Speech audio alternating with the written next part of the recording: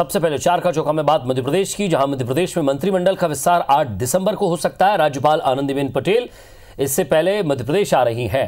Jyotiraditya Scindia camp के तुलसी सिलावट और गोविंद सिंह राजपूत उपचुनाव के दौरान इस्तीफा दे चुके हैं।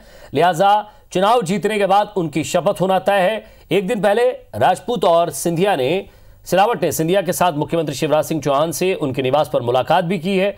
पार्टी सूत्रों का कहना है कि शिवराज सिंह चौहान और ज्योतिरादित्य सिंधिया के बीच इसको लेकर बातचीत हो गई है। संघ के प्रमुख नेताओं से भी सिंधिया की मुलाकात हो गई है। आपको बता दें कि इस वक्त शिवराज भी टीम में, उनकी टीम में 28 मंत्री हैं, छह पद रिक्त हैं। उपचुनाव में इंदल सिंह कंसाना, इमरती देवी और गिरिराज दंडोतिया चुनाव हार चुके हैं।